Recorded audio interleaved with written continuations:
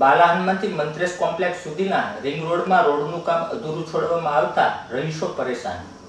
Airport road ઉપર આવેલ બાલા હનુમાન મંદિરથી મંત્રેશ કોમ્પ્લેક્સ તથા રિંગ રોડનું નિર્માણ કરવામાં આવી રહ્યું છે, જેમાં બાલા હનુમાનથી લીલા ઉડાન સુધીના રસ્તાનું કામ છેલ્લા ત્રણ વર્ષથી અધૂરું મૂકવામાં આવ્યું છે, જેના કારણે ધૂળની ડમરી ઉડવાની સાથે આસપાસના રહીશોને શ્વાસ લેવો મુશ્કેલ બન્યો છે. તો બીજી બાજુએ પાથરેલી કપચીના કારણે વાહન ચાલકોને પણ ભારે મુશ્કેલીનો સામનો કરવો પડી રહ્યો છે.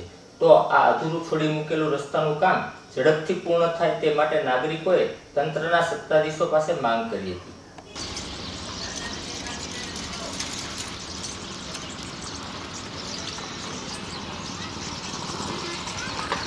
ધીમો ધીમો લીધે લીધે એવા.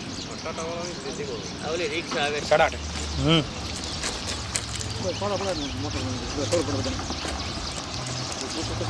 ફાસ્ટ કરો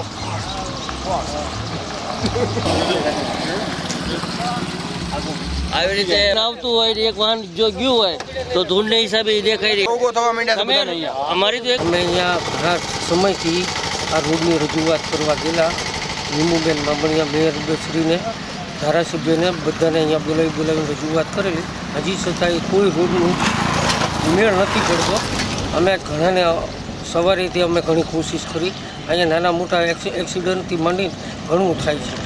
હું અવારનવાર માણસો પડે છે. આ ગાડીઓ નીકળે, ગાડીઓની ધૂળ, ડમરી ખોટા કાઢે છે. આમાં અમારા સ્વાસ્થ્યને બધાને માટે તકલીફકારક છે. અમારી એક જ રજૂઆત છે. કે વહેલામાં વહેલી તકે આ કામ શરૂ થાય અને વહેલામાં વહેલો રોડ પૂરો કરે એવી અમારી ગણતરીઓ છે. કયો વિસ્તાર છે ને? આ રોડ સુભાષનગર એરપોર્ટ રોડ કહેવાય. લીલા ઉડાન એકસો દોઢસો ફૂટનો રિંગ રોડ કહેવાય. અમે સરકારને એ રજૂ કરવા માંગીએ છીએ કે સુભાષનગર બાલા હનુમાનથી લીલા ઉડાન થઈને બાલયોગીનગર થઈને મંત્રી સુધીનો જે રોડ છે એ ભાવનગરના મેયર શ્રી રેમુબેન બામણિયાના ઘર સુધી બની ગયો છે. ત્યાંથી તે બાલા હનુમાન સુધીનો રોડ અટકી ગયો છે. છેલ્લા પિસ્તાલીસથી સાઠ દિવસથી આ કપચા પાથરીને રોડ અવારનવાર રાખ્યો છે. અવારનવાર માણસો અહીંયા સ્કૂટર લઈને પડે છે. નાના છોકરાઓ સ્કૂલે જતા હોય, સાયકલ લઈને તો એને પંચર પડે છે. ખૂબ હેરાન થાય છે. એવા મોટા મોટા કપચા નાખ્યા છે, તમે જોઈ શકો છો.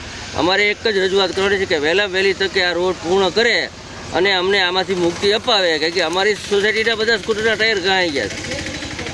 આખી સોસાયટીને હોલસેલ ટાયર લેવાના વારા આવશે. એટલે અમારે સરકારે એક જ રજૂઆત કરવાની છે કે વહેલી તકે અમારો આ રોડ પૂર્ણ કરે એવી દરખાસ્ત છે.